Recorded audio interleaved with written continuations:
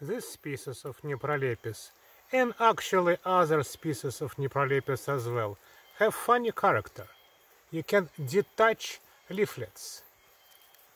So this is not typical for ferns and kind of superficial similarity with giant ferns, Angiopteris and whole Marattiales.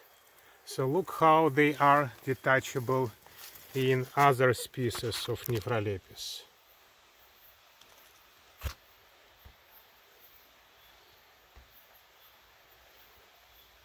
So look how they are detachable in other species of Nephrolepis. You can even detach multiple leaflets if they are old enough.